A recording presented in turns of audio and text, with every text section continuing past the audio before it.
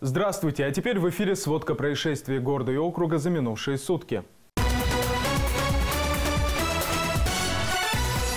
В Ямальском районе жена убила мужа. Супруги поссорились в ноябре прошлого года во время застолья с алкоголем. Женщина 1970 года рождения схватила нож и ударила им в грудь своего супруга. 47-летний мужчина скончался на месте. Свою вину убийца признала и сотрудничала со следствием.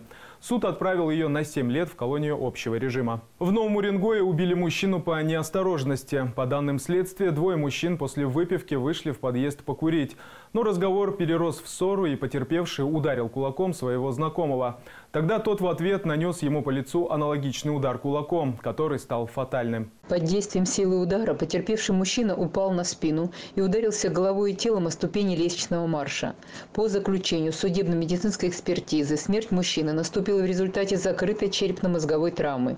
В настоящее время следствием устанавливаются все обстоятельства совершенного преступления. Расследование уголовного дела продолжается. Полиция Нового Уренгоя задержала горожанина с наркотиками. 40-летний мужчина нес с собой полграмма синтетического порошка.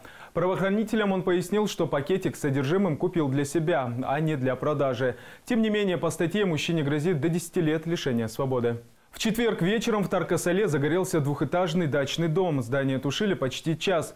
Однако 11 спасателям не удалось спасти сауну, которая находилась в помещении дачи. Огонь уничтожил почти 30 квадратных метров.